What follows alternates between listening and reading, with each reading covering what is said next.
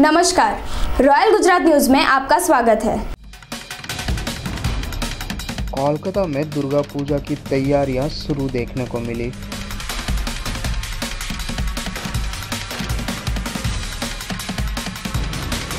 भारत और रूस के बीच होगी बड़ी डिफेंस डील।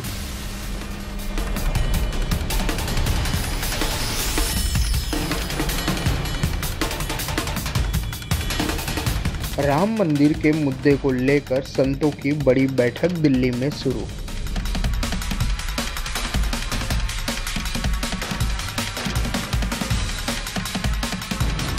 गुजरात के समुद्री पोरबंदर इलाके में चक्रवात की असर देखने को मिली।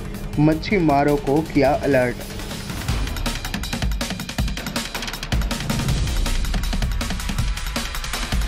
गुजरात में हिंदी भाषी लोगों पर हिंसा के मामले में उत्तर भारतीय विकास परिषद ने प्रेस कॉन्फ्रेंस बुलाई, जिसमें लोगों से शांति और संयम रखने की बात कही।